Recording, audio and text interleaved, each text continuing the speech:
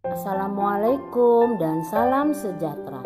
Jumpa lagi di channel YouTube Ratna Sari Rahab dalam pembelajaran tematik untuk kelas 2 SD dan MI. Jangan lupa ya, like, share, comment, and subscribe-nya. Terima kasih.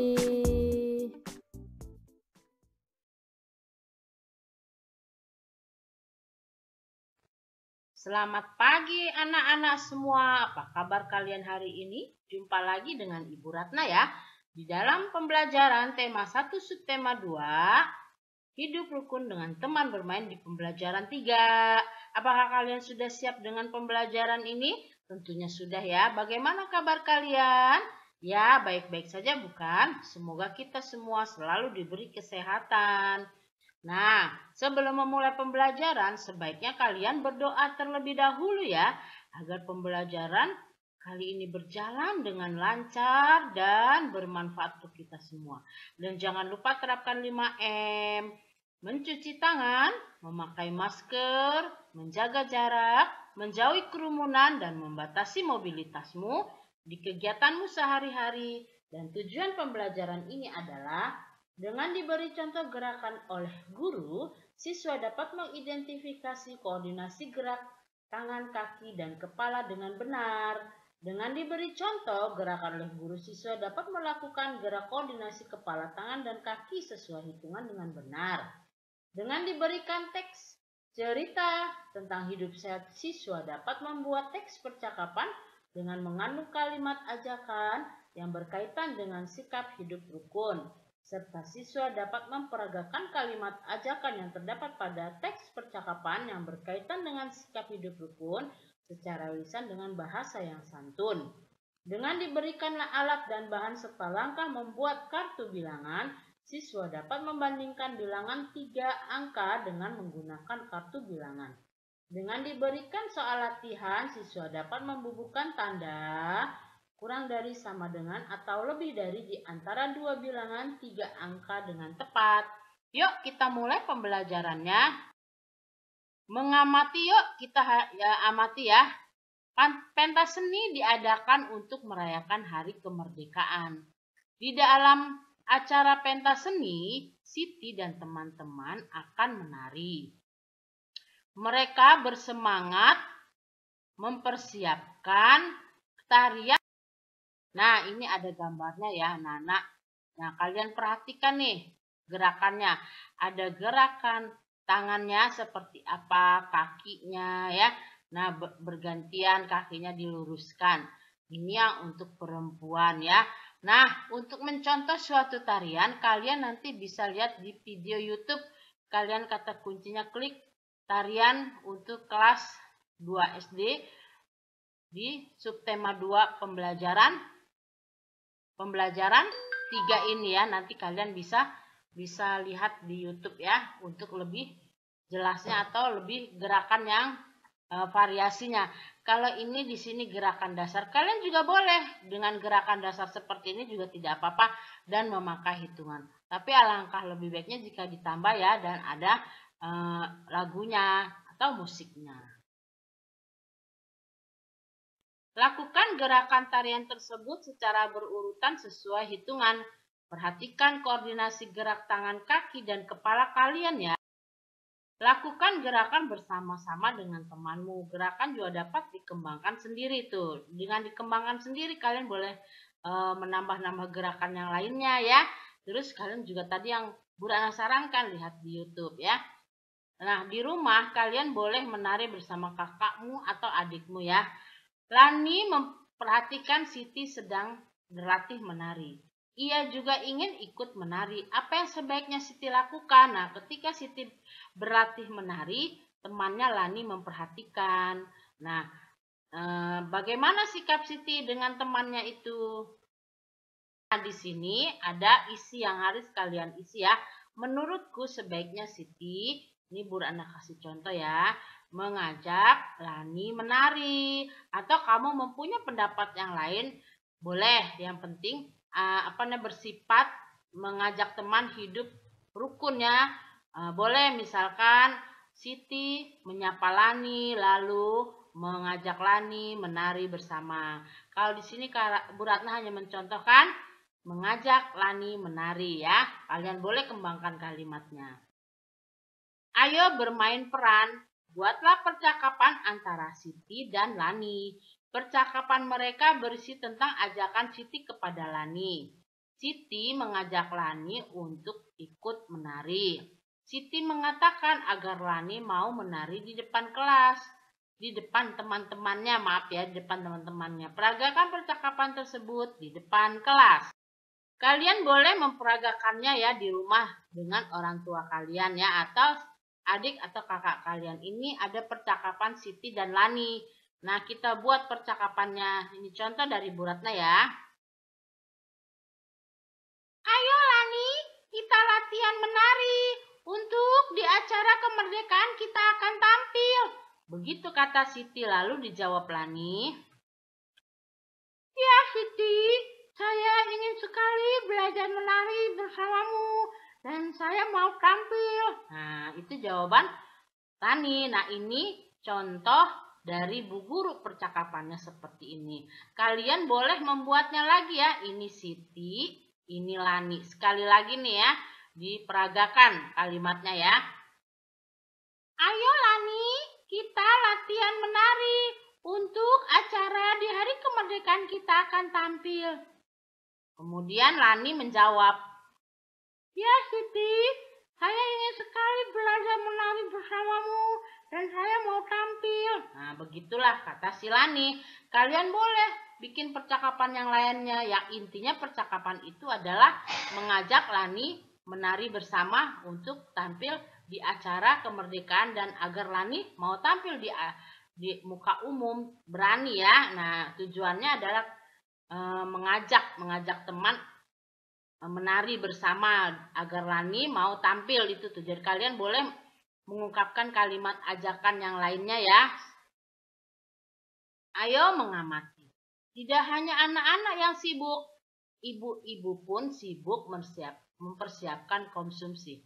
Ada 225 makanan nih, makanan kotak dan ada 252 minuman botol. Manakah yang lebih banyak? Nah, cara untuk menentukan suatu bilangan lebih banyak atau kurang dari dengan membandingkan nilai angka pada tempat ratusan, puluhan, dan satuan.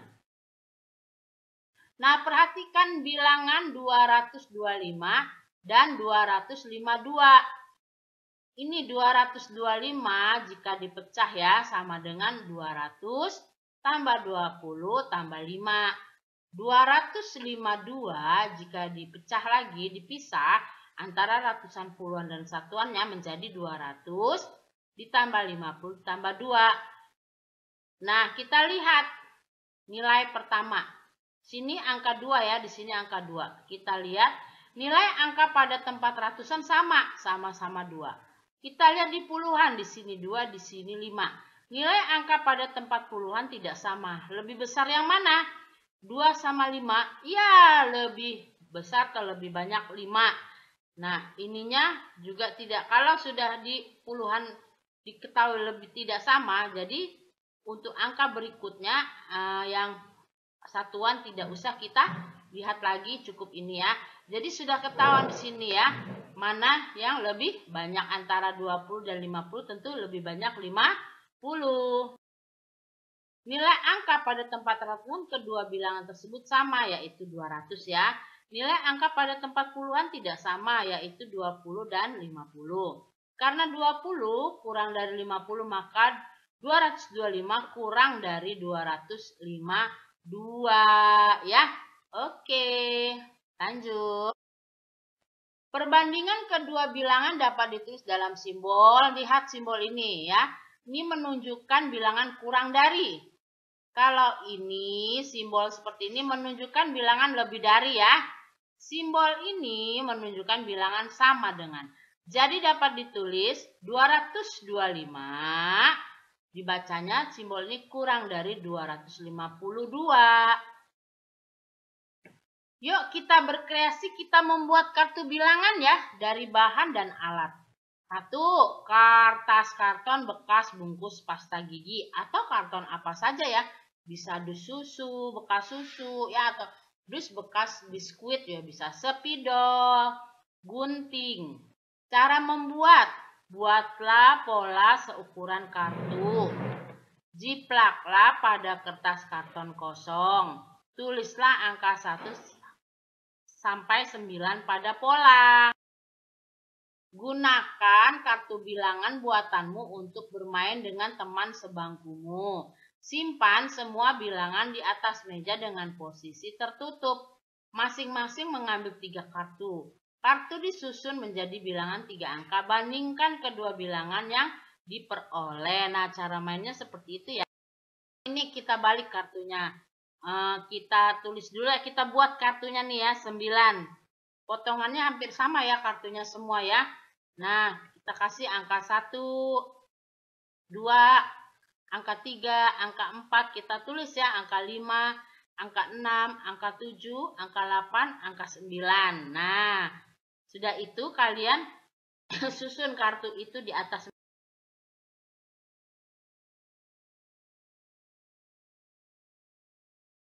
Nah, sekarang kita akan bermain kartu huruf.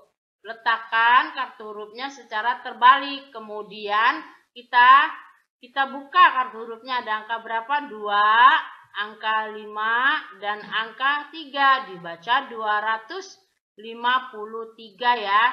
Di sebelahnya kita lihat kita buka ada angka 2, dibuka kartunya ada angka 4, kemudian dibuka kartunya ada angka 8.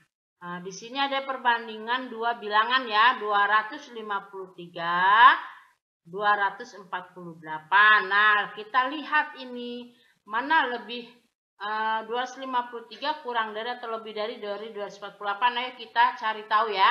Di sini angka ratusannya 2, di sini juga 2. Angka puluhannya 5, di sini 4. Nah, berarti 5 lebih dari 4. Jadi di sini 253 lebih dari 248 dan simbolnya seperti ini ya.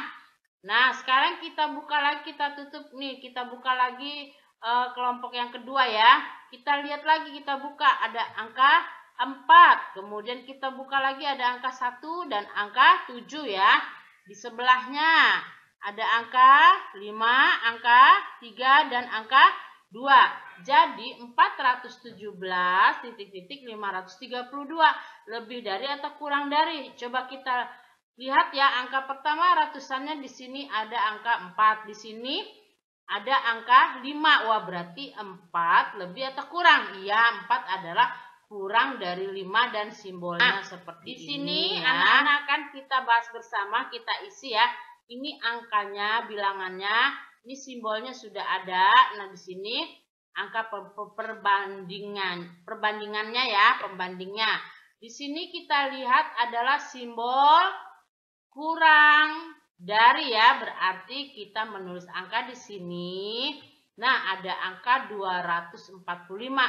Kita bikin angka sebelahnya lebih besar ya, agar iya, agar di sini terbaca 245 kurang dari 254. Kok mengapa seperti itu? Iya, di sini angka pertamanya ratusannya 2 sama 2. Angka puluhannya di sini 4, di sini 5 berarti 4 kurang dari 5 ya. Jadi 254 kurang dari 250 245 kurang dari dari 254. Nah, yang kedua ada 367. Simbolnya harus kurang dari. Berarti kita akan membuat di sini bilangan yang lebih dari 367 ya. Nah, 497. Kok bisa ya? Coba kita lihat di sini angka ratusannya 3, di sini angka ratusannya 4. Jelas ya. 3 kurang dari 4 ya berarti 367 kurang dari 494 kita lihat lagi angka berikutnya ada 253 di sini ada simbolnya eh, lebih dari ya berarti ini angkanya lebih besar daripada yang sebelah sini karena dia lebih dari ya Coba kita lihat. Nah, coba kok bisa ya? Coba.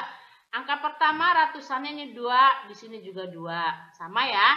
Angka puluhannya di sini lima, di sini empat. Nah, ini pembandingnya ya. Puluhannya lebih besar ya.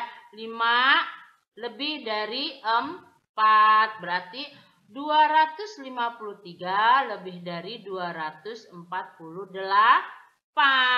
Nah, sama di sini ada simbolnya juga lebih dari ya. Berarti ini ada angka 436 bilangannya dan sebagai pembandingnya adalah 417. Kok bisa? Ya, coba kita lihat di sini ada ratusannya ada 4, di sini sama 4. Puluhannya di sini 3 30 ya. Di sini 1 10 ya. Berarti 3 lebih dari 1 ya. Berarti 413 lebih dari 417. 30 lebih dari 10 ya. Nah, kita lihat lagi di sini juga ada simbol kurang dari ya. Berarti di sini angkanya 216 di sebelahnya harus melebihi dari 216 karena ini kurang dari ya. Nah, nih kok bisa seperti ini? Iya, di sini ratusannya adalah uh, angkanya 2, 200. Di sini angkanya 3, 300. Berarti 200 kurang dari 300. Jadi 216 kurang dari 315. Kita lanjut ya. Ayo berlatih. Bandingkan dua bilangan berikut ini memperhatikan angka penyusunnya.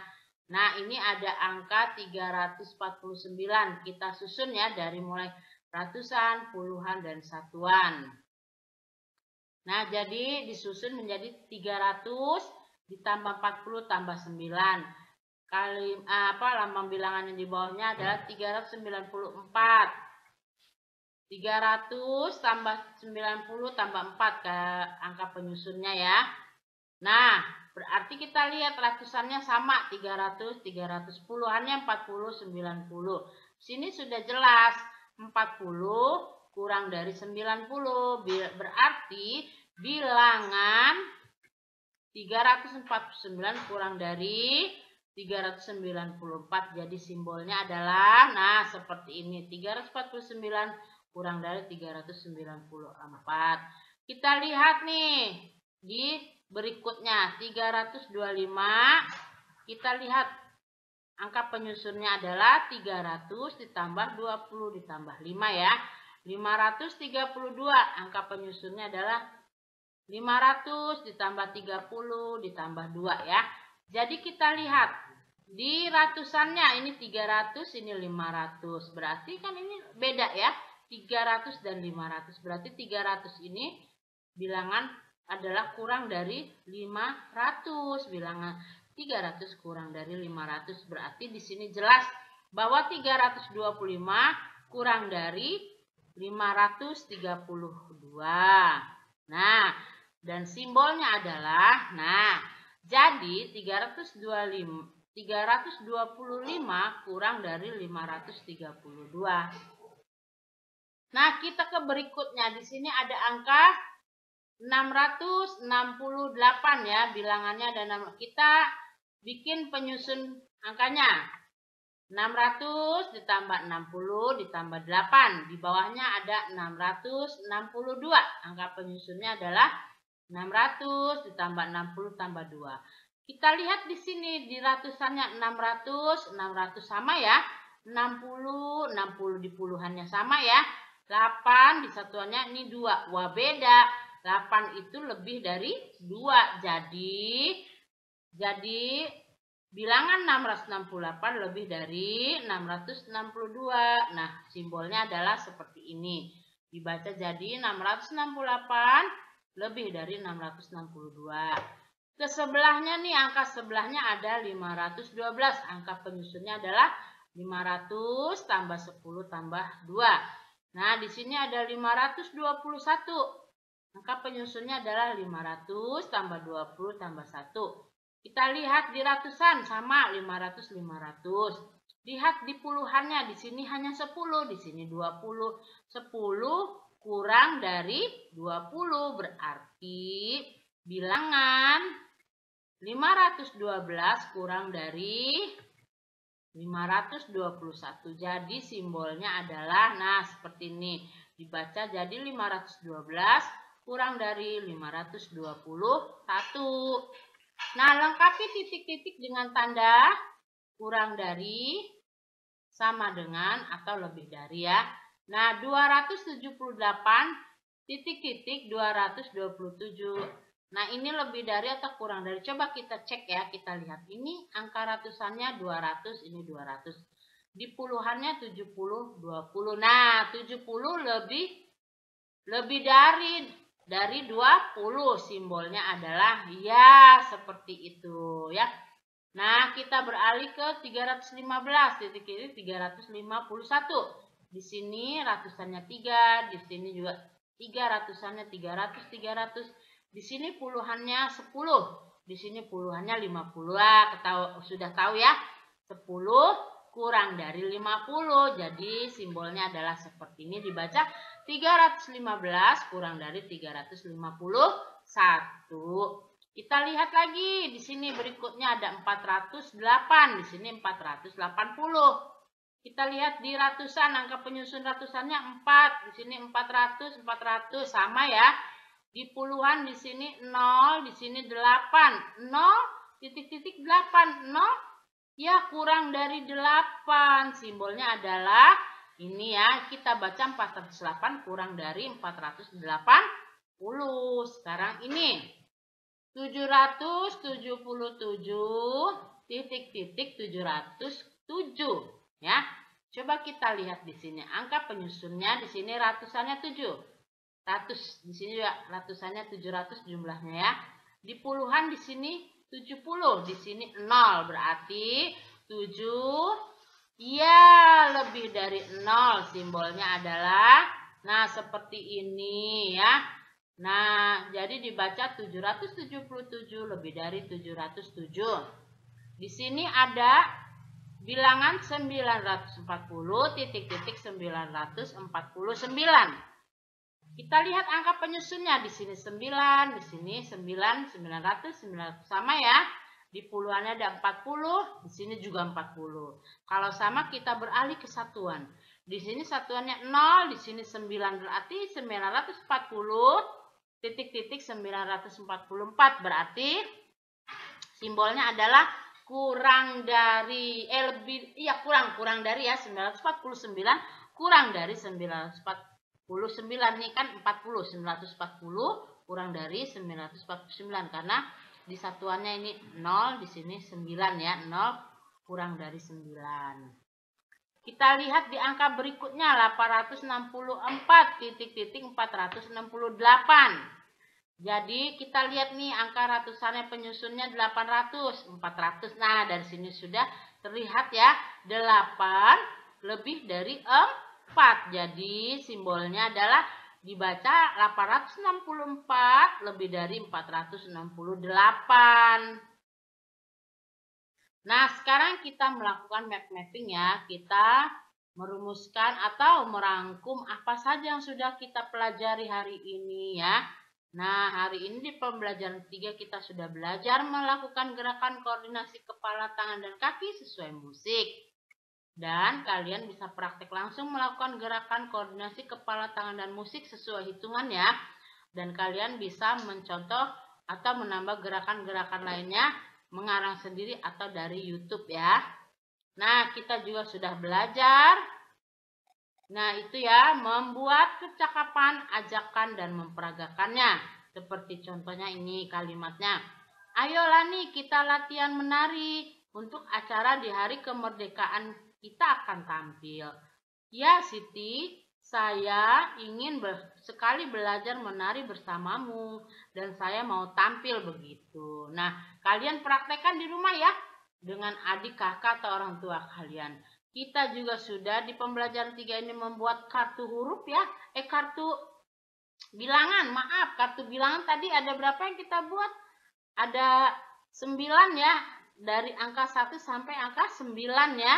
Nah, eh, nah dari bilangan kartu itu kita sudah belajar apa? Dengan kartu itu sudah membubuhkan tanda kurang dari sama dengan atau lebih dari di antara dua bilangan serta juga sudah belajar membandingkan dua buah bilangan dengan lebih banyak kurang dari dan sama dengan ya.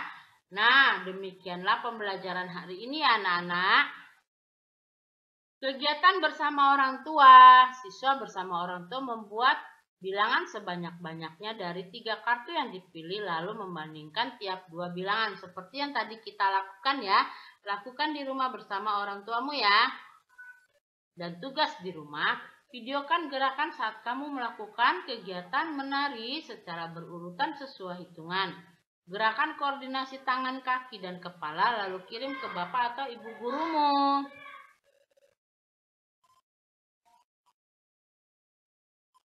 Demikianlah pembelajaran tema 1 subtema 2, hidup rukun dengan teman bermain di pembelajaran 3. Sampai jumpa lagi ya di pembelajaran 4. Terima kasih ya kalian telah menyimak pembelajaran ini. Mohon maaf jika ada kesalahan. Semoga bermanfaat. Jangan lupa like, share, komen, and subscribe-nya di YouTube Ratna Saria Rahab. Wassalamualaikum warahmatullahi wabarakatuh. Salam sejahtera.